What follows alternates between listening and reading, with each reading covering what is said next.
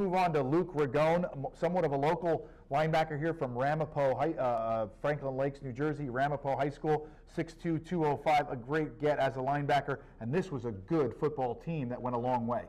Yeah, that comes from a great program. Uh, he teammates with uh, uh, Mike Hughes that we have on our team, and uh, this guy loves football. Uh, he's versatile, uh, not only productive as a linebacker, but really productive as a running a back. running back, yeah. And uh, you know that's a good combination uh, in looking for recruits that guys that play those positions because they see the same hole, Mike. Mm-hmm. Yep, You know, absolutely. linebackers see it from a defensive point of view. Running backs see the opening uh, from an offensive point of view, and, and he does both. Uh, he's a, a a good, smart, tough kid who really impressed in our camp this summer. Showed a lot of versatility, and he's uh, physically he's got room to grow, and he's got a lot of potential. So we're really glad to have him.